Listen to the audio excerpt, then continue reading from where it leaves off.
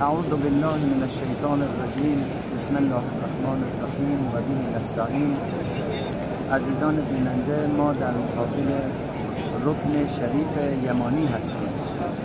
رکن یمانی همون ستونی است که به احترام فاطمه بنت اسد مادر امیر المؤمنین علی علیه السلام شکافته شد و فاطمه بنت اسد وارد کعبه شد.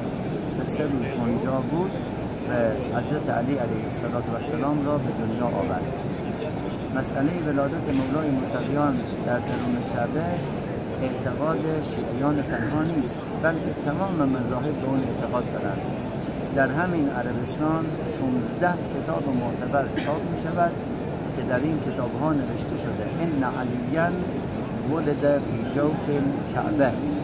ما اگر هیچ فضیلتی برای مولای متقیان امیر المؤمنین علی علیه السلام نمی داشتیم جز همین که حضرت در خانه خدا به دنیا آمد و در خانه خدا هم شهید شد. این فضیلت مختص به آقا امیر المؤمنین علی علیه السلام است. ما همینجا در امروز که روز هشتم ذوالحجه هست و آماده میشیم برای رفتن به عرفات برای همه شما عزیزان دعا می‌کنیم.